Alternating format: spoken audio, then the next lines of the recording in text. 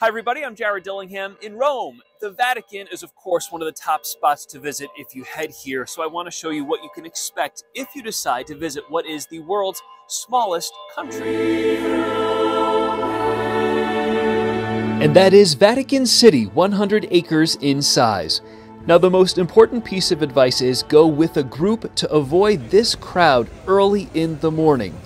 The Vatican opens to the public each day between 9 and 10, and if you wait until then, this is the smallest crowd you can expect. This was midweek in the winter, and by opening, the line to get in already stretched around the corner of the Vatican in both directions.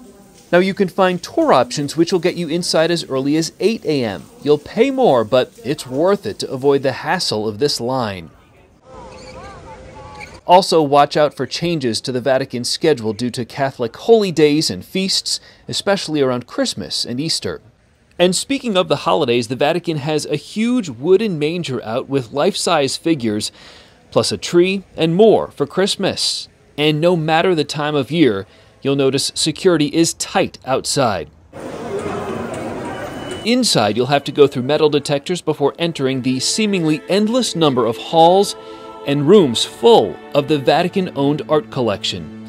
You'll see busts, fountains, beautiful courtyards, famous statues, and my favorite, the mosaic floors.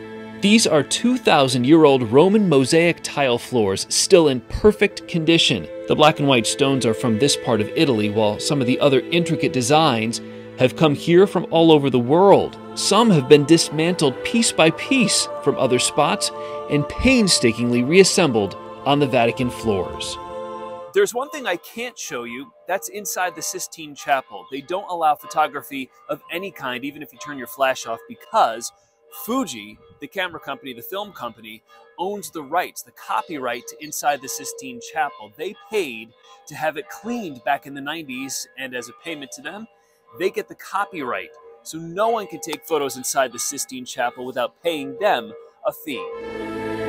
But the Sistine Chapel is not the only beautifully painted ceiling at the Vatican. It is full of them, and they are stunning and seemingly endless in the long Vatican halls. Also lining the halls, centuries old tapestries. While they may appear drab and brown, to modern day visitors, they used to sparkle of silver over time, the silver threads woven in have tarnished and turned brown, and there's really no way to polish a tapestry back to its former glory. You'll also get a complete history of what we now refer to as Pope mobiles, which were these ornate, horse drawn carriages until fairly recently. As for when to visit, maybe consider coming during the winter months when temperatures are still in the 50s or 60s during the day and the crowds are quite a bit smaller.